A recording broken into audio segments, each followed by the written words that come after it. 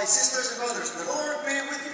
And with your spirit. A reading from the Holy Gospel according to St. Matthew.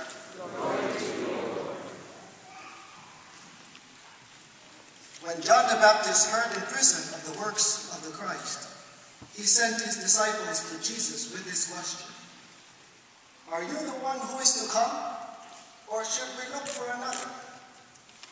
Jesus said to them in reply, Go and tell John what you hear